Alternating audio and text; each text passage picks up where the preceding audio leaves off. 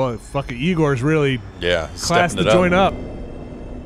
We had some problems. We're done with the whole. Welcome to my velvet room. I'm sorry? Uh.